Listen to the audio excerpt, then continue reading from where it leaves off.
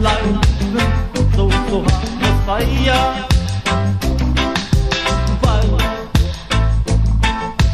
Freedom, you find the fire for freedom.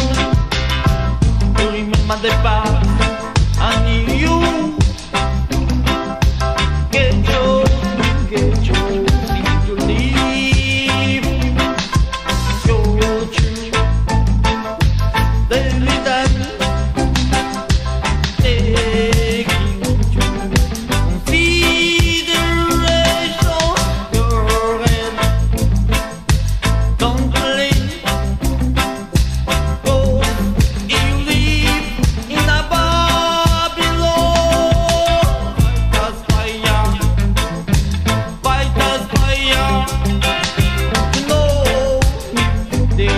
in Africa.